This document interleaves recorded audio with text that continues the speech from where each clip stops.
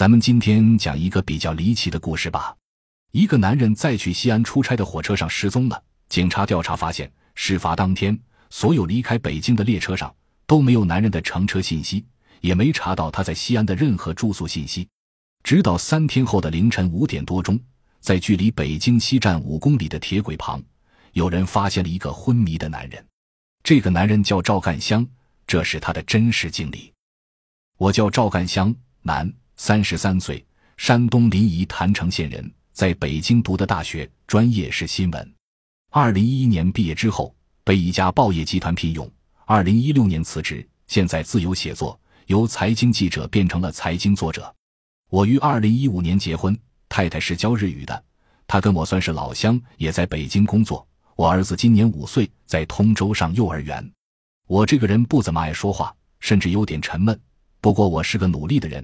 结婚第二年就买了一套运河边上的房子，一百八十平，在寸土寸金的北京已经算不错了。又赶上通州变成副中心，房子也随之升值。辞职后，我一直居家写作，主要是关于金融方面的。如果让我给自己一个比喻，我觉得我更像一只鼹鼠，每天都在低头忙碌，从不关心九霄云外的事情。而且，一个全力追求物质生活的人，大脑很少生病，思维容易误入歧途的，往往是那种清高的人，对世俗不满的人，活在内心世界的人。我说这些，主要想强调的是，本人一点都不神叨，就是我这么一个务实派。前年却经历了一件离奇的事儿，如果仔细琢磨。这件事的内核超过了所有的恐怖故事和电影。二零一九年七月十八日，我出差去了一趟西安，参加在浐灞生态区召开的绿色金融丝路论坛。事后想起来，自从我乘坐 G 六六五离开北京西站之后，就有点异常。怎么说呢？我忽然变得抑郁，心情极其糟糕，就觉得自己再也回不来了。我给太太打了个电话，叮嘱她下午一定不要忘了接儿子。她好像感觉到了什么。问我怎么了？我说没事儿，我就是不放心。后来他又追来了一个电话，还是问我怎么了。我就跟他撒了个谎，说上车之后我睡着了，做了个很不好的梦，还被他嘲笑了一番。不过当时我真的有点困，前一天晚上我熬夜写稿，凌晨两点才睡。我以为自己心情不好是缺觉所致，于是就靠在了二等座上，打算睡一会儿。可是又有了尿感，趁着还没睡着，我去了趟厕所。记住。我离开座位之后是朝前走的，而厕所在车厢连接处的左侧。我解决完之后出来朝右走，返回座位。我是四车厢六 F，却看见一个五十岁左右的男子坐在我的位子上。他把花镜卡在鼻尖上，正皱着眉头看短视频，外放的声音很大。我问他：“这是你的座吗？”他抬头看了看我说：“是啊。”我以为遇到传说中霸座的了，又问他：“你是哪个车厢的？”他说。三车厢啊！我说大叔，这是四车厢。他有点不高兴了，大声说：“你再看看。”我转头看了看车厢的电子屏，真的显示着三车厢。我说了声对不起，然后赶紧转身走开了，心里却十分纳闷：我去厕所的时候明明是朝前走的，出来之后是朝后走的，怎么会走到三车厢呢？我走进下节车厢之后，一眼就看到了一个穿蓝 T 恤的女孩。我记得她就坐在我的斜对面。挨着过道，这才确定是自己走错了。可是怎么会这样呢？除非我上厕所的时候，厕所从左边移到了右边，但从火车行驶的方向看，它还在左边。另外，如果他移到了右边，那我返回去的时候看到的就不应该是乘客的脸了，而是一排排椅子背。想来想去，只剩下一种可能：厕所前后移动了，从四车厢移到了三车厢。我找到自己的座位后，打算再去厕所试一次，没想到里面有人了。我等了半天，才走出来一个胖乎乎的女人。我跨进去，锁上门，静静数了几十秒之后，才走出来，跟刚才一样朝回走去。这次是对的。我发现一些诡异的事情总是这样的，它一般都发生在你不警惕的时候。等你发现有问题了，越想越糊涂，只能认为自己记错了。我回到座位坐下来，还是觉得自己可能太困了，迷迷瞪瞪，才闹出了这段乌龙，所以又闭上眼睛，打算睡了。过了很长时间，高铁运行的噪音中出现了一个男人的声音，有点嘶哑。他好像在给什么人打电话，对方应该是个女性。他说他打算带对方去一趟三亚什么的。从语调中可以听出来，两个人并不是夫妻。一个人在火车上是跟情人聊天的最好时机。你做不了其他的事儿，时间还需要打发，配偶又不在身边，四周也不可能有熟人监听，还把平时亏欠的都恶补了。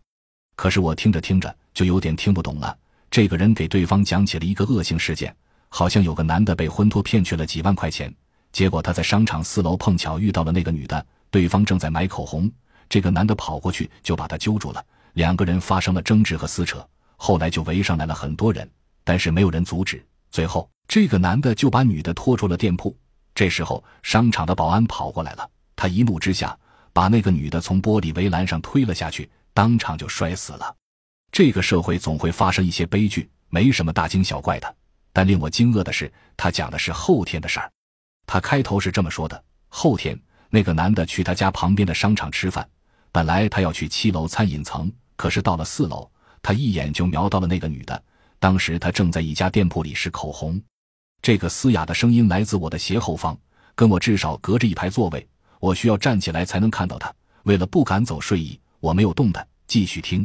接着他又讲到了那个受害者，他本来没想买口红，他是去商场一层的咖啡厅见个人，他老板告诉他，这次来相亲的人是个教授，一个人生活很多年了，积蓄丰厚，一定要把他套住。由于时间还早，他就顺便去了四楼，打算买一支口红。如果不是前面提到的时间漏洞。我会以为这两个人在电话里谈一个剧本，但我确定并不是。这个男人讲的就是还没有发生的事儿。比如谈到受害者的时候，他是这么说的：明天他哥去了他家，他的小侄女偷偷拿到了他最喜爱的那支口红，在墙上乱画，把口红彻底毁掉了。实际上，我的困境早就过去了，听得越来越精神。再接着，这个男人又讲起了受害者的那个小侄女，内容也越来越扯。他从大人的交谈中。或多或少知道了姑姑的死跟口红有关系，他特别害怕，好长时间闷闷不乐。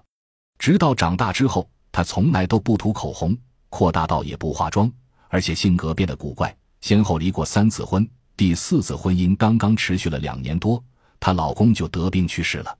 随后，这个男人又讲起了她的老公。其实，小侄女跟着父亲去姑姑家的路上，曾经遇到过她的老公，当时他也是个小男孩，还举起塑料枪。瞄着小侄女使坏，也就是说，这是明天将发生的一幕。再后来，这个男人又讲起了小侄女跟他第二任老公的孩子。我终于站起来，朝着斜后方看了看，并没有看到任何人在打电话，很奇怪。我重新坐下来，戴上耳机，堵住了这个声音。过了保定东，我终于听着老粤语歌睡着了。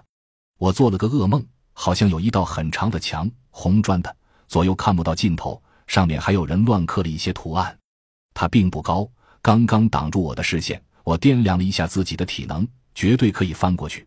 可是我试了几下，怎么都爬不上去。它好像本身就是一个噩梦。终于到了西安，这是我第一次来西北，感觉它是一座青色的城市，满街都是大嗓门。其中一句印象最为深刻：“咋了吗？”我住在钟楼附近，第二天跑了趟会场，基本就没事了。晚上我一个人出去逛了逛。走出了不到一站地，吃了碗热腾腾的泡馍，然后就准备回酒店了。可是我走着走着，发现街景越来越陌生，竟然迷路了。我到旁边的一家眼镜店问了问，里面有三个女店员，两个三十多岁，一个二十出头，他们竟然都没听过我住的那家酒店。出来之后，我看见前面不远就是个十字路口，站着个交警，我就走过去跟他问了问。这个交警年龄不大，很帅气。他说他也不知道。我拿出酒店的门禁卡递给了他，他看了看上面的地址，说：“这个地方可远了，你打辆车过去吧。”我有点懵，马上想起了在高铁上厕所的遭遇。难道我年纪轻轻就老年痴呆了？我问交警大概有多远，他说：“这里是西郊，离你那地方至少十五公里。”我说：“不对吧？我离开酒店没走出多远啊？”交警露出了有点奇怪的表情。那你咋跑到这里来了？我道了谢，然后离开这个路口，打开手机导航软件，输入了我的酒店，果然跟交警说的一样。就在这时候，一辆出租车停在了我旁边，司机操着当地口音大声问：“师傅，你去哪吗？”我看了他一眼，突然打了个机灵，这个人太眼熟了，我跟他绝对见过，而且就在不久之前，但我怎么都想不起他是谁了。他见我没说话。露出了一丝对外地人警觉本地人的嘲笑表情，说瞎吗？我直接问他了：“你是不是见过我？”他端详了我一下，然后说：“每天都拉客人，记不清了。我一边看着他，一边使劲回忆：酒店、绿色金融丝路论坛、大雁塔、大唐芙蓉园、泡馍馆，怎么都想不起来了。我说：“你再想想，咱俩肯定见过。”他说：“你到底走不走吗？”就在那一瞬间，我哗啦一下想起来，这个穿着深蓝色制服的司机就是高铁上三车厢六 F 的那个人。我说：“你真不记得我了？”他挂档要走了，还没等他松开离合器，我一下就拉开了车门，然后麻利的坐了进去。这个人跟高铁上的那个人为什么如此相像？不搞清楚这个问题，我心里会留下解不开的疙瘩。他把表一扣，问我啥地方，我说钟楼附近的红景酒店。他就把车开动了，我接着问他：“师傅，你最近出过门吗？”他大咧咧地说：“两个月前去了趟北京，咋了？”我说：“你什么时候回来的？”他说：“玩了三天就回来了，没啥好玩的，啥啥都排队。”从他的神情和语气看，他真的就是个出租车司机。我想试探他一下，突然说：“你回来的时候，我和你坐的同一趟高铁。”他有些惊讶的回头看了看我说。是吗？我说你忘了吗？我还走错了，以为你那个座是我的。他又回头看了看我说：“你把人认错了吧？”我问他：“你是三车厢吧？”他说：“那我可记不清了。”我从后视镜看了看他，感觉他确实要年轻一些，差不多四十岁的样子。我又问他：“你是不是有个哥呀？”他摇摇头说：“我只有两个姐。”看来我就是遇到了两个挺像的人。走了一会儿，我说。还有多远？他说：“这时间不堵车，几分钟就到了。”我不再说话了。外面的霓虹灯花花绿绿的闪过，我又在心里嘀咕起来：我离开酒店，明明就走出了一站地，为什么坐进了出租车？终于，他把车速慢了下来，说了声“到了”。我抬头看了一眼，一下有点晕，不是形容词，是真的晕。我确实看见了红景酒店的招牌，但这个建筑和周边的环境。绝对不是我入住的那家酒店。难道西安有两家红景酒店？那一刻，我忽然不知道自己到底在哪里了。我说：“师傅，不是这儿。”他说：“就是这儿啊。”我说：“我上车之前就跟你说了，我那酒店在钟楼附近。”他把车朝前溜了溜，然后微微猫了猫腰，指着远处说：“那不是钟楼吗？”我果然看到了金碧辉煌的宝顶，距离我们应该不到五百米。那一瞬间，我忽然想开了，说：“好吧，那我下去看看。”然后支付了车费，就下了车。这辆出租车立刻就开走了，剩下我一个人了。我又打量了一下这家酒店，十分确定，我绝对没有见过的。我不打算接着找了，反正我就一个皮包在手上拿着，随便再找个酒店住下得了。这时候已经挺晚了，而面前就有一家酒店，我索性走了进去，登记标准房，出示身份证。神奇的事情再次发生了。我接过门禁卡，上面写着三百零七号，而我在上一家红景酒店的房间也是三百零七号。我把原来那张门禁卡掏出来比了比，两张一模一样，包括上面的地址和电话。当时我有些恼火，这他妈算不算重复收费呢？我并没有声张，乘电梯来到三楼，用之前那张门禁卡试了试，没反应。我又用刚刚拿到的门禁卡试了试，开了。我推门进去，还好。里面的布局并不一样，这里的空间更小一些。我把皮包放在床上，拿起电话，想跟太太说说这件怪事儿，又怕她担心，就放弃了。想了会儿，我又下了楼。我来到前台，问刚才给我登记的那个女孩：“你们酒店是连锁的吗？”女孩摇摇头说：“不是的。”我又问：“那附近是不是还有一家红景酒店？”女孩说：“不可能吧。”我把上一家红景酒店的门禁卡拿出来，递给了她。你看看这张卡，他接过去看了看，说：“这就是我们酒店的呀。”我说：“不，这是另一家红景酒店的。”他在电脑前刷了刷，果然不对。他可能以为这是我复制的卡，看我的眼神变得警惕起来。我把卡接过来，直接扔进了旁边的垃圾箱，说了句“谢谢了”，然后就走了出去。虽然极不情愿，但我不得不承认，这个世界真的出了问题。我不敢睡。我想去钟楼转转，大钟是辟邪的。可是走出酒店之后，我又不相信他了。既然高铁上的厕所都能移动，酒店都能替换，钟楼还是原来那个钟楼吗？酒店对面有个烧烤摊，没有一个顾客，但摊主依然在那里烟熏火燎的忙活着。其实我第一眼并没有看清那个摊主的长相，想不到他也抬头看了我一眼，我当时就定住了，他不就是那个主动要拉我的出租车司机吗？只是现在换上了一件白 T 恤，看上去脏兮兮的。难道他收车之后又来卖羊肉串了？我忽然明白，为什么我下车之后他马上就把车开走了。那应该是急着去换装。当我俩对上眼之后，他憋不住笑了出来，然后赶紧避开我的目光，把脑袋低了下去。他不想让我发现他在笑。我倒一下放松下来了。他的笑透着恶作剧的味道，这很好。不管他有什么目的，只要我确定他是人，就不会那么害怕。我直接朝他走了过去。当我站在他面前的时候，他很随意地说：“坐嘛？”我仔细看了看他，不对，虽然他跟那个出租车司机很像，但他更年轻一些，大概三十岁左右的样子。难道他是那个司机的弟弟？我直接问他了：“你是不是有个哥哥开出租车？”他说：“没有。”我又问：“那你是不是有两个姐姐？”他愣了一下，说：“你咋知道？”我忽然有了一个恐怖的猜测：我遇到的三个人。其实是同一个人，只是时间段不同。他三十岁左右的时候摆摊卖羊肉串，四十岁左右的时候改行去开出租车了，五十岁左右的时候不再工作，四处去旅游。我越想越害怕，越想越顺溜。我之前入住的是很多年以后的红景酒店，它重新装修了，包括四周的环境也完全变了样子。那时候的门禁卡当然打不开现在的门。那么我在哪里？不是空间上的哪里，而是时间上的哪里。这个摊主不再翻腾那些肉串了，他追问道：“你咋知道我有两个姐姐？”我勉强笑了笑，说：“瞎猜的。”他这才低头继续忙活了，但嘀咕了一句：“哈锤子。”我这个人一害怕就本能想跑，不行，我得走，我得回北京，我得回去见我的儿子。可是我要怎么走呢？我离开烧烤摊，一边沿着大街朝前走。一边给太太打了个电话，响了很久都没人接。这时候才十点钟，他不应该睡觉的。我又通过查找手机一遍遍震他，还是没反应。我忽然想到，我跟他是不是已经不在同一个世界了？我迷茫了一会儿，又在手机上导了导西安火车站，不到五公里，我扫了一辆电动单车，一路导航骑了过去。我骑过北大街、西五路、尚德路，一路上都在观察四周，试图发现什么漏洞。旁边的店铺里都亮堂堂的，马路上的车辆争先恐后的朝前钻，便道上有情侣在闲逛，也有孤单的人在急匆匆赶路，没有人注意到我对他们的注意。我来到了西安站的售票大厅，打算买最近一趟 T 八的票，二十二点五十二分发车。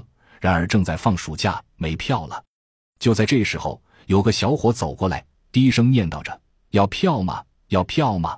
我有些警惕地看了看他。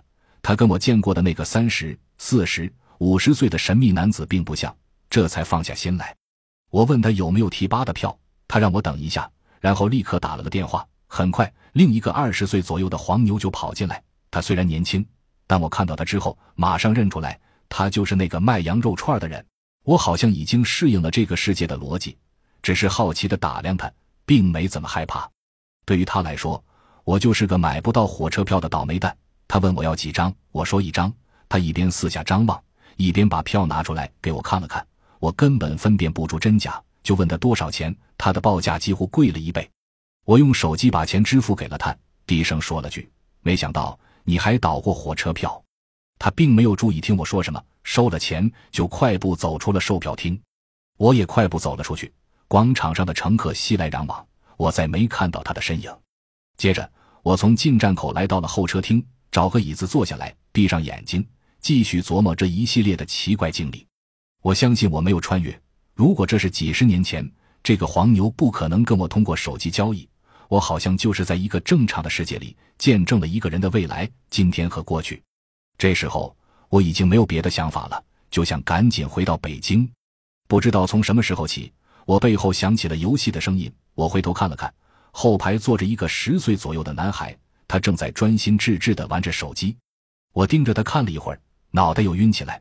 如果这个男孩和高铁那个五十岁左右的男子站在一起，我肯定看不出他们是同一个人。但经过出租车司机、卖羊肉的摊主，再加上倒火车票的黄牛，这么一过渡，我一下就把他们对上号了。没错，他就是刚才那个黄牛的小时候。说起来，我发现那个卖羊肉串的摊主，其实就是我见过的那个出租车司机，也是高铁上三车厢六啊的那个年长的男子。那一刻，我确实恐惧到了极点。后来见到那个黄牛，还有眼前这个男孩，我已经越来越不害怕了。你们可能不理解，我这个人最怕我自己变得古怪，而现在我只是见到了一个神奇的人，他从老到小的变化着，顶多是我进入了一个畸形的世界，但我觉得自己是正常的。这就没问题。男孩旁边坐着一个中年男子，看上去挺老实的。他应该是男孩的父亲。还有个女孩，大概十三四岁的样子。他拿着平板也在玩游戏。我跟那个父亲搭话了：“大哥，这俩孩子都是你家的？”他看了看我说：“是，放暑假了，带他们去山东耍耍。”我指了指那个男孩说：“他游戏玩得很好。”男孩玩得正嗨，并不理睬大人之间的对话。他父亲笑了笑说。平时都不让他们玩，出来才把他们解放了。我说：“你家就这两个孩子吧？”他说：“还有个大女儿，跟他妈去洛阳姥姥家了。”这个男孩有两个姐姐，我更加肯定了。就在这时候，我的车子开始检票了。我起身离开之前，又端详了一眼那个男孩，他正在专注操作，并不看我。他是无辜的，他对我正在经历的怪事一无所知，而且我的心里还有点悲凉。他这个年龄。一定是充满梦想的，但我已经看到了他并不闪耀的未来。我坐的这趟车是从成都发来的，很多旅客都睡下了。我找到我的上铺，爬了上去。很快，火车就离开了西安站，嘈杂的人声渐渐平息下去，只剩下火车哐当哐当的运行声，还有不知道哪个铺位上传来的呼噜声。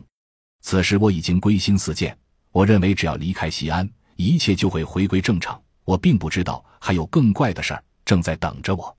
我辗转反侧了一个多小时，依然睡不着。掏出手机看了看，太太一直没给我回电话，这不符合她的性格。接着我又想尿尿了，我小心翼翼地爬下去，摇摇晃晃地走向了车厢尽头的厕所。解决完之后，我走了出来。这次我很谨慎，仔细看了看电子屏上的车厢号，确定没问题后，才走回了铺位。回到上铺，我轻轻躺下来。那个呼噜声还在持续，不过多了两个女人轻轻的交谈声。他们的铺位应该在隔壁。我听了一会儿，其中一个是孕妇，怀上二十周了，她已经有两个女儿了，但她老公一心想要个儿子，所以才有了肚子里的这个娃儿。另一个对她说：“都这个月份了，最好少往外跑。”孕妇则说：“她吃什么都想吐，就馋他妈做的饭。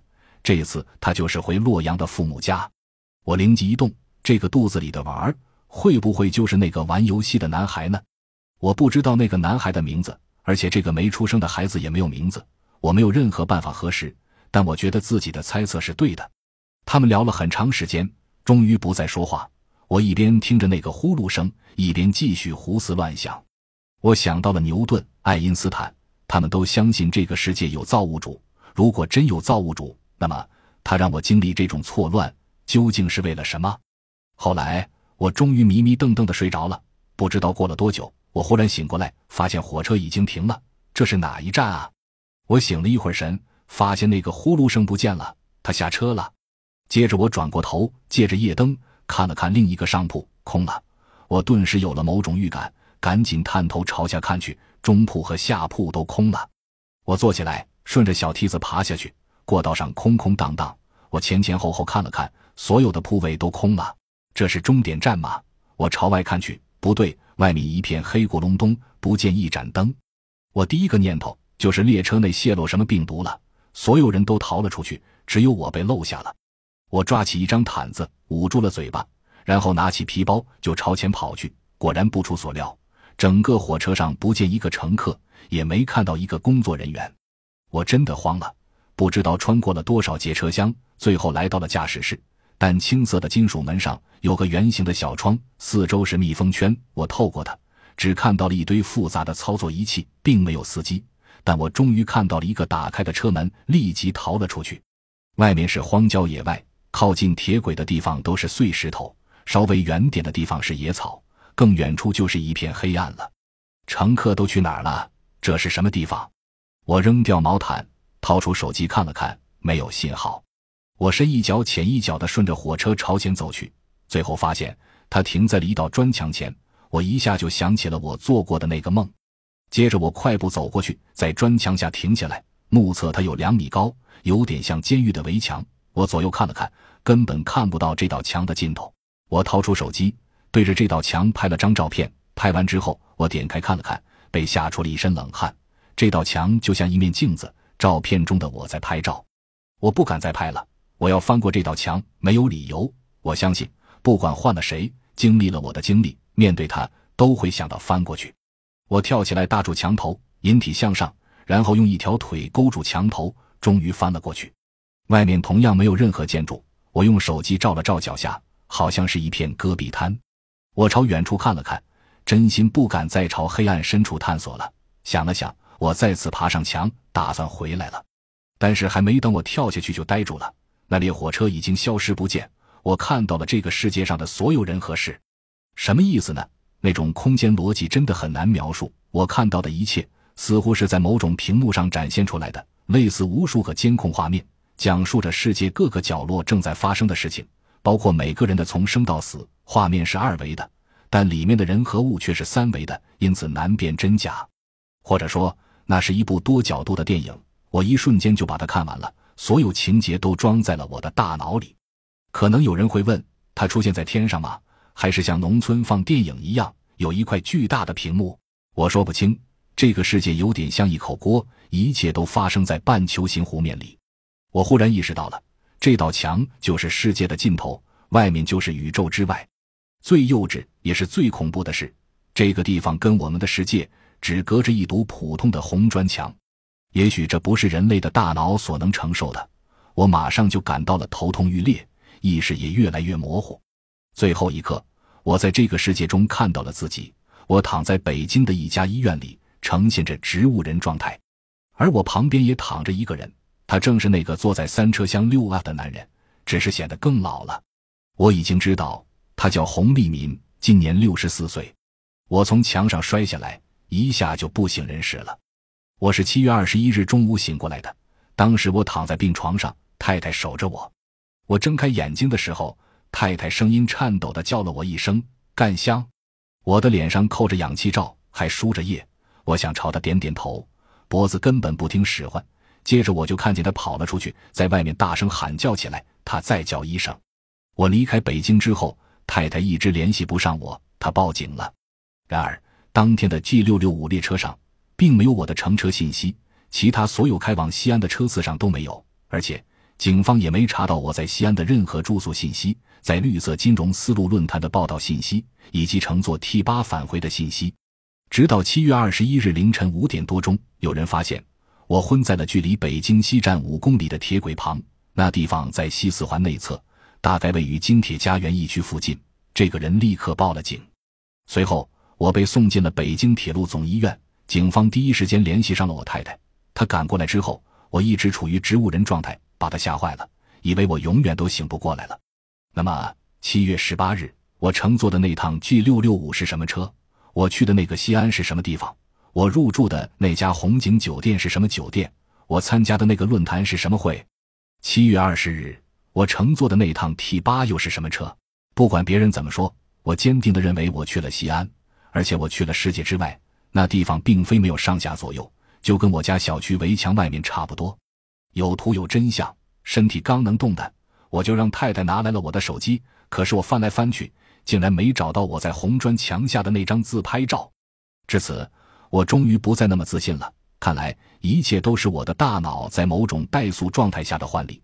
可是我为什么会昏倒在北京市区内的某条铁轨旁？我还是不服气，对太太说：“这个病房里原来是两个人，对吗？”